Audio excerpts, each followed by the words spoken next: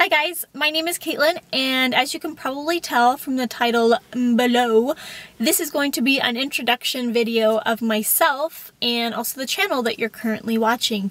Now, most of you probably got here uh, by typing in eye disease or Stargardt's or macular degeneration or a plethora of other fun and exciting eye topics. I know. But I just want to say thank you first of all for clicking on the video and I hope that it opens up an avenue for you um, of a a good support system that I am trying to build. And that is ultimately the goal of these videos. So my Stargardt story is not very exciting. Um, I don't remember a time when I didn't rely on my peripheral vision. I thought it was normal. I thought it was the way everybody viewed the world. Um, when I would try to explain it to my friends or family, I could never convey myself very well or very clearly. Um, and so I think they were always a little bit confused on what I was trying to say, so I didn't really bring it up because I thought I was just blowing things out of proportion and that, you know, it was, that it was normal. I didn't realize that it was a, really anything to be on the lookout for. So it was about two years ago that I just went back to a regular optometrist to um, rate to change the prescription in my glasses, hoping to solve some of my vision problems that I was having. And at that visit, um, that was the first time that he, I really, that he said macular degeneration and that I really paid attention to it. Um, because, you know, he started telling me all about the effects and the symptoms of it. And um, it pretty much fit what I was going through. And so I finally realized, oh, this isn't normal. There is something bigger at play.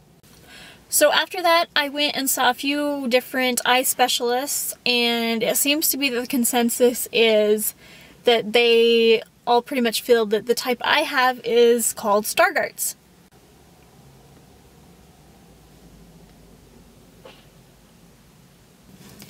So I have to tell you this story because it makes me smile every time I think about it. Um, it was one of the first appointments um, within the last few years. Uh, I was actually visiting my parents back home and the eye doctor that I had been going to since I was pretty young, he heard what was going on and he he wanted to see me. And so he opened up his office just for me. I think it was during the holidays. He was rushing out of town, but he wanted to see me. So he opened up his office just for me. It was very kind of him and um, but my dad was with me at this appointment. And so uh, this my eye doctor he just wanted to see for himself um, if he could try and pinpoint exactly what it was.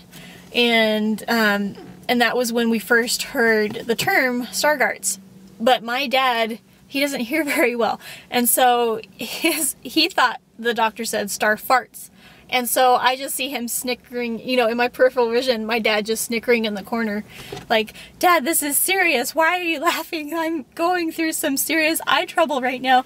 And my dad's just in the corner laughing. And so he told me when we got home that he thought I had star farts. As you can tell, I'm in my car. I am still able to drive. I don't know how long that's going to last because um, I have seen serious changes in my vision the last um, especially the last year. Um, I actually had to leave my job. Um, well, I didn't have to.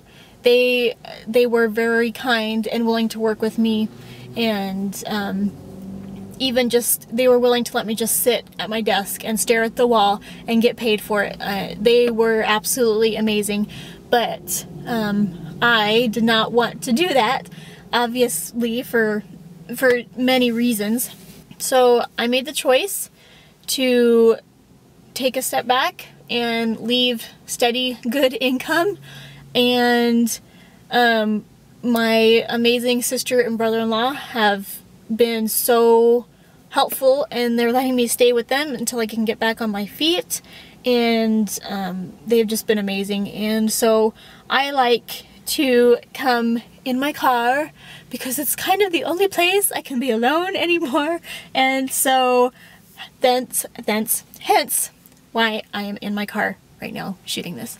This year is just going to be a great year. I can feel it. I am just, I'm pumped up with the business that I'm starting, which I'll tell you about in the next video. Um, I just, I have great hope and I think it's going to be a great, can I say great a few more times? It's going to be a great, great, great year. You know, we all have our struggles. We all have our trials. No one is immune to them. We're all going through something. And, you know, even if it's not something with your eyes. I want you to be here so that we can support one another.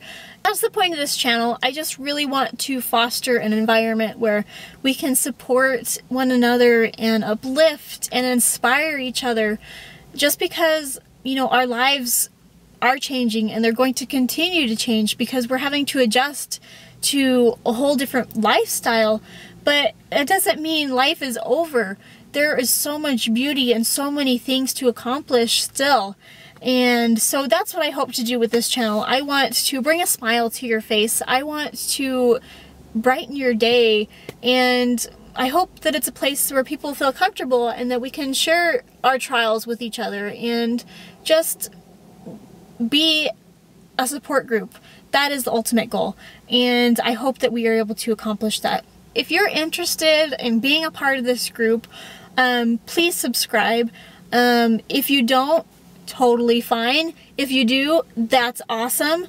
But believe me, this could very well be me just having a conversation with my steering wheel, which would not be the first time. So that is my story, and I am definitely going to go into more detail later on if you guys want to know about it. If not, that's totally cool. I just want to thank you again for taking a few minutes out of your day to watch this video and I hope to see you guys on the next one. Bye!